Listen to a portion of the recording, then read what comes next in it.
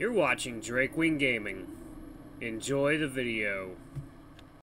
Hey guys and gals, Nary here from Drakewing Gaming, some of you me on Twitter, The Gaming Dragon. Today I'm coming back at you into the Let's Play episode, episode of Sileo, Tales of a New Dawn. So let's go ahead, jump right back into Diego's route. Guys and gals, please sit back and enjoy me for the next 18 minutes while entertaining you. Let's jump right in. Alarm Chan, you are up, and let's go. Okay, the morning began as expected with a call from Ty, asking me to work a closing shift during the evening. He vetoed on calling in Diego, insisting he needed the day off to recover.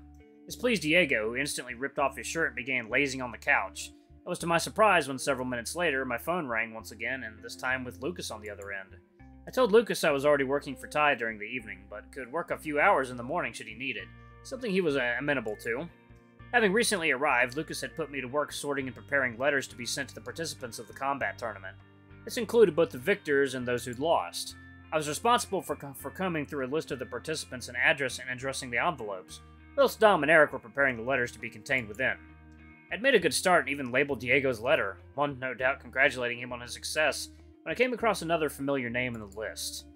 Kyrax. We'd suspected his participation was a possibility, but now we knew for sure. That being said, I didn't yet know the results of the fight. I made a mental note to ask one of the others when I when I handed over the envelopes. Alas, I ran into another problem soon afterwards. I'd run out of envelopes. Hey, Lucas, where do we keep the envelopes? Oh, over here. Lucas opened the stationery drawer and its contents stopped in mid-sentence. Huh. What's wrong? I, um, I thought we had more. Don't we? Nope. Oh, so what do we do now? Go and buy some. The other two are busy doing what they're doing, but there's not much you can do without more envelopes. Feel like tagging along? It's better than sitting and waiting. True enough. as a stationery store in the local mall we have a company account with. We get supplies at a good discount. Shall we get a move on then? Yep, let's go. Lucas and I arrived the, in the mall and made our way to the stationery shop, which was situated opposite the food court. We went inside and purchased two large boxes of envelopes. We each carried one and left the, uh, left the store again together. Geez, I didn't expect it to be so heavy. What are you talking about? These are practically weightless. Sounds like someone's having trouble. You ain't been keeping up with your fitness routine, Brian. Oh, great. Of all the people I'd come to meet in Woodcrest, it was the one person I at least wanted to run into. I think you can manage, thank you. What do you want, Kyrax? Would you believe it if I said I just wanted to say hi? Not for a minute. Heh, guess that's fair enough. Ain't that far from the truth, though. I got no business with you, but Lucas, I got... But Lucas and I go way back. That's an overstatement. I recalled seeing Kyrax's name in the list shortly before. I decided to get I decided I'd get my answer straight from the Raptor's mouth. I heard you competing in the tournament. How's that going for you? Heh, if I didn't know better, I'd think you were showing an interest. I'm through to the quarters, if that's what you want to know. You got me, you got me. Anyway, what are the two of you doing anyway? Getting some side action, Brian? We're out, we're, we're out of envelopes, actually. What are you working for, Lucas? There was a sudden change in Lucas's expression following Kyrex's words. Yeah. Kyrex pondered for a moment while Lucas looked somewhat evasive. Interesting timing, wouldn't you say, Lucas? I'm sorry, I had to make a call. What are you talking about? Having both you and Diego on staff would have been a problem. So you choose the guy... So, you chose the guy... You chose the guy who works one day a month over the guy that worked most every day. It wasn't personal. I made the call I had to make based on what I knew. What you knew? And what the hell was that? It's like I said, things between you and Diego had gone sour, not to mention there were some harsh allegations floating around. You didn't think to talk to me first? It wasn't just that. You know it wasn't. Your work ethic was a factor, as was your attitude and your unwillingness to take instruction. Those allegations were simply the final straw. All of a sudden, something of a new story had been unraveled before my very eyes. Both Ty and Lucas had, of course, mentioned that Diego had referred a worker who was subsequently fired shortly before my arrival. In hindsight, given the little I had heard about it, it made sense that the worker was at Kyrex. Alas, I hadn't made that connection myself. And now it seemed as though it was his replacement. I was his replacement. Not that I was particularly bothered by that fact, rather I was I simply didn't want to be dragged into Kyrex's affairs. Looking at Kyrex, he was clearly angry, but it remained silent. I suppose he didn't rightly know what to say, or was processing the events in his head. Lucas took this opportunity to give me a nudge before tilting his head towards the exit, I nodded, and the two of us left Kyrex all on his lonesome in the food court. I chanced to look back in his direction as we were passing through the entrance doors. He hadn't moved, nor had his expression changed. I merely shrugged. After all, I had no sympathy for the guy, not after what he did. Upon our return, I unpacked the envelopes and resumed work. Nearly a hundred people who had participated in the heats, a surprisingly good turnout for Woodcrest being such a small place. As I went, I passed Russel's name. I felt a little bad knowing his letter wouldn't be good news, but it was nothing he didn't know already, nor anything he seemed to have much of an issue with. I recalled he was starting his first day of work with Ty today. I wonder if our shifts would cross over. It didn't, it didn't take me much longer to finish up. It was a little after midday, and while I'd expected to be done earlier, I still had some time before I was due at Ty's. All finished! Great work. You can leave the rest to us. Going to take them to the post office? I was thinking between the three of us, we could hand deliver them. It's not a huge amount of letters. We all live in different parts of the town, so we could tackle them on our way to on our ways back home. You know, it would have been a lot easier if you just emailed them. Me, using a computer, you've lost your mind. Besides, the contract quite clearly required physical letters. What can you do, I guess? Oh, and by the way, I am sorry things got uncomfortable earlier. It's alright, they're bound to be they're they're bound to anytime Kyrex shows up. You think I made the right decision? From what I know about Kyrex, definitely, although I don't know much about the specific situation. Well, he was unf- well, he was fairly unmotivated and didn't take easily didn't easily take instruction. If I could get him working, he did fine, but well, it was an if. Also, Dom wasn't too fond of him and Eric. Well, well, Dom wasn't too fond of him and Eric. Well, that's complicated, I guess. Eric mentioned a while back they didn't like the guy. I guess I didn't need a reason to believe it. It seemed as though initially they hit it off. As time went on, though, I don't know. Something went wrong. Not my business, really. Kyrex is kind of two-faced. Probably it had something to do with it. Who can say? Anyway, when things between him and Diego got complicated, it was a tough decision. Kyrex worked often, but not as hard as I'd have liked. He had more supervision than I wanted to give. Diego, on the other hand, was busy more often than not. But when he did work, he did he did pretty well and got things done. Honestly, it was less about what I'd heard and more about not having them both on staff. What you'd heard from Diego? Well, no, I didn't need Diego at all. I didn't see Diego at all during that time. I just heard whispers. I'm not the person. I'm not the person who takes sides in all this, at least without having to hear the story from all angles. So I didn't just fire him on a rumor. I guess that's why I wanted you to know. It's good to hear, and for what it's worth, I think you made the right decision. It was awfully good luck you showed up when you did. With the tournament and everything happening, things got busy. I'm glad for your help. You're a reliable worker. Thank you, Brian. Thanks for giving me the shot, too. It was nice to have work so soon after arriving here. Being a small place, I can't say I was expecting it. Woodcrest may be small, but it's surprisingly lively. No doubt thanks to a certain someone in City Hall. Huh? What do you mean? Who do you mean? Uh, uh, uh you have work. You have you have work for Ty later, don't you? Wouldn't this be a good time for lunch? Y yeah. I shouldn't keep you. Thanks for your work today. Uh, no sweat, I guess. Uh, see you later. See ya. See ya. Lucas's rapid change of topic was suspicious to say the least. It struck me he was likely referring to Spencer, given his appearance the day prior.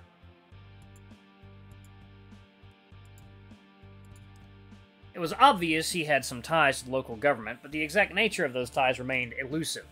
My curiosity was as ever killing me, but there was little I could do to state it. Do to state it. In lieu of further consideration of the topic, I made my way out of the building into the street outside. Checking the time on my phone, I had little while I had a little while left before I was due at Ty's. I just needed to figure out how I was going to spend that time.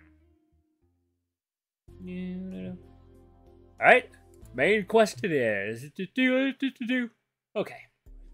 The time had come for me to start work. I made my way inside and was surprised to see Russel already manning the front desk and taking customers' orders. I put things in the cupboard behind the counter and decided to head back into the kitchen to make my presence known to Ty before starting work. Ah, Brian, right on time as always, I see. I wouldn't dream of being late. Well, I am most pleased to see you as always. How was your day? How has your day been thus far? Pretty good. Uh, a few hours of work with Lucas in the morning. Did have an uncomfortable run-in with Kyrex, though. Oh, you did?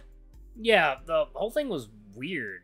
Kyrex uh, was Kyrex was his usual self, full of bluster, but something Lucas said shut him down. I didn't quite follow it. Oh, and I happened to happened to find out he's won the tournament too. Won his first match. I suppose that was to be expected. I see. Brian, may I ask a favor of you? Sure. What is it? Would you mind terribly if we kept that between ourselves for the time being? Sounds to me like you already knew. Well, I might have heard something, yes. Dude! But that is neither here nor there. What is more important, what is more important is that Diego does not find out. Have you lost your mind? That's clearly something he would want to know. And something he would no doubt agonize over at the very least, if not withdraw from the tournament entirely. Please understand, I am of no I am of no mind to keep secrets needlessly, but I genuinely feel that doing so would be for the best. Diego has been doing well so far, and his confidence seems to be improving a great deal. This is everything we could have hoped for, yes? You say that as though you're some kind of puppet master pulling his strings. I cannot deny I'm a little deep in all this. I do apologize. At the end of the day, I will not stop you if you decide to tell him. I only wish... I only want what is best for Diego, as I am sure you do as well. He has been through a lot. I just want to help him as best I can. I don't want to keep secrets from him, but I won't deny you have a point. He's feeling the best he has since I arrived. I wouldn't want to jeopardize that. I'll think about it, okay? Thank you. That is all I ask. At the end of the day, I will support whichever I will support whichever you choose. Well, I guess I should get to work then. Ah, yes. Would you would you mind terribly in keeping an eye on Russel for me? He's doing wonderfully thus far, but there is little I can do stuck here in the kitchen. Of course, I'll sort him out. Thank you.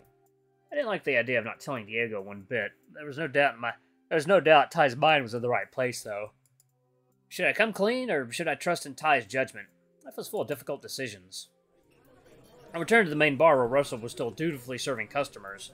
I set myself up at the bar and started preparing drinks. Before long, Russel had cleared his queue and turned on turned to me, striking up conversation. Hey man, it's good to see you. Busy day? So far, yeah. Worked my worked my other job in the morning. Now I'm working my second in the afternoon. Oh man, busy today. Nice outfit. Thanks, Ty. Uh, got me all suited up. I like uh, didn't like have anything like this in my closet. How's your first day coming along? Actually, pretty smooth. Like Ty was like super worried we'd not have enough staff, but it's been pretty quiet so far. Usually picks up after about 9 p.m. During the week, it's people it's people finishing work. Usually the bar is busy. During the weekend, it's it's more the restaurant. I see. It's just Ty's in the kitchen now. You think he's got this? Uh, anyway, could do it better than Ty. Oh, sweet, good news. I guess that I guess that means I'm on the bar. He's taught you how to pass orders along, right? Worry not, my dude. I've got this. Your confidence is admirable. Ty said, like, it's exactly the same thing, man. Oh yeah, speaking of, he seems pretty chill. Like, he's a good boss. He is. I wouldn't deny that for a second. He's certainly more personable than my other boss. Although sometimes perhaps too personable.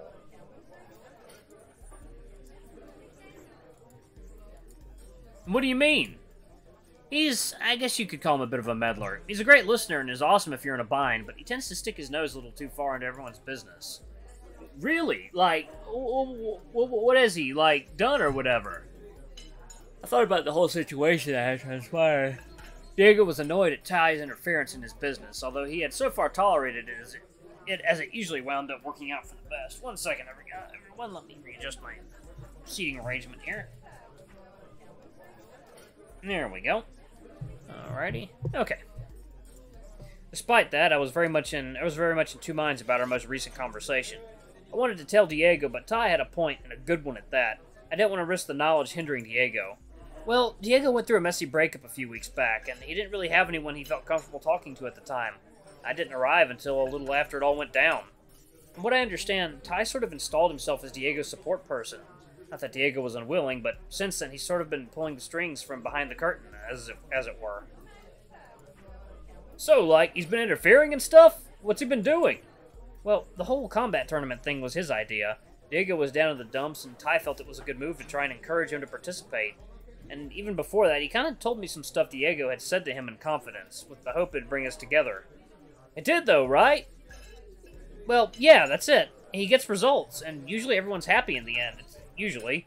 That's why Diego has tolerated it so far. Why I've tolerated it. He means well. I guess I'm just trying to for oh, I'm trying to forewarn you. He's out to help everybody, make everybody happy. It, it seems to be a shtick. I find that kind of sweet. He's like a guardian angel or something. I've made that same assessment. What do you think made him that way? I don't rightly know. He's quite secretive for someone who happens to know everybody else's secrets. I bet he has some bombshells tucked away for the right occasion. But there's also this dude he seems to know, and I won't talk about that. Um, even Lucas, my other boss, won't talk about him, even though Ty and him are friends, and he likely knows. Whoa, sounds totally sketchy, dude. Diego and I feel the same way, but nobody's talking, least least of all Ty. So we've sort of given up on finding out more. Do you think Ty will meddle with my life? If something is going on, he might. He's astute, so if you're acting off, he'll pick up on it. But I doubt. But I doubt if you discourage. But I doubt. But I don't doubt if you discouraged him, he'd leave it alone too. Like I said, he means well. He's just trying. He's just trying to help. He just has a terrible tendency to overstep his boundaries. But in a strange way, you could say I'm thankful.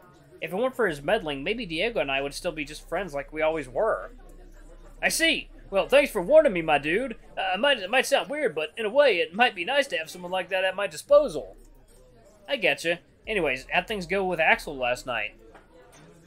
Ha! That's like, I let my secret, my man. What? What are you talking about? You gotta talk to Axel about it. Stuff happened, and, and like, I ain't telling. Now I'm just curious. I will say, though, Dom and me, we're cool.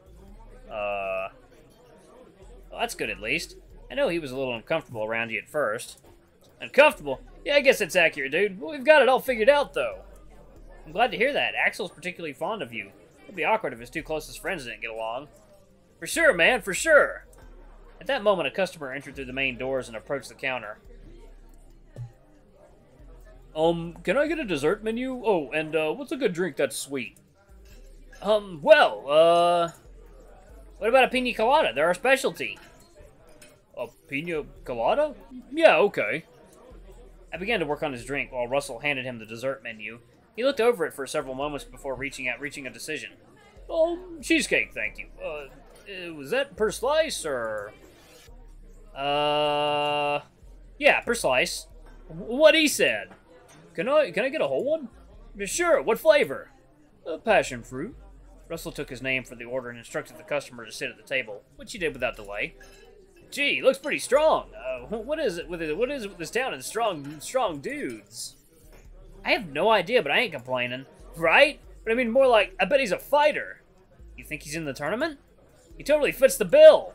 Thinking back to the previous night's discussion with Diego, I recalled that his next opponent was a bear. I admit I wasn't expecting a polar bear, but I suppose that was on me. Russel, mind if I see that order for a second? Sure. Russel handed me the order. One passion fruit cheesecake one pina colada for Logan. I instantly recognized the name, and all doubt was dispelled. I handed, my, I handed my order back to Russel and craned my neck over the various taps and other instruments atop the bar to get a better look at Diego's next opponent. Was perhaps a touch taller than Di- He was perhaps a touch taller than myself or Diego, but not by any great margin. He certainly possessed significant strength, and also, but also a rotund, almost ball-like physique. Alright, I'm going to go ahead and pause it right here. Thank you all so much for watching. Don't forget to like, comment, subscribe, ring that notification bell. Leave a super thanks or tip if you can. It always helps. Until the next video, I love you all. I'll see you next time. Bye-bye!